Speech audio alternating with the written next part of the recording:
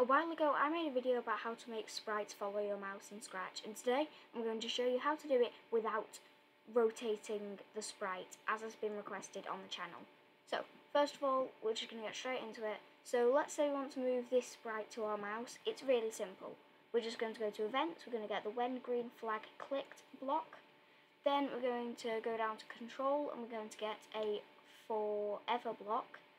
And we're going to go to motion and we're going to get a glide one secs to random position.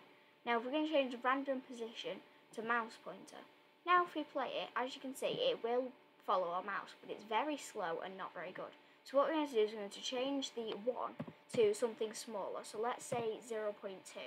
Now if we try this, that is much better. It's still a bit laggy, so I think we should go even lower. Let's go to 0.05.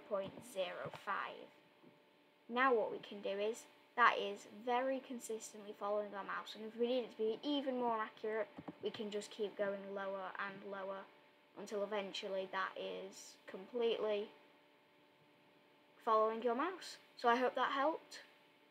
See you in the next video. Bye.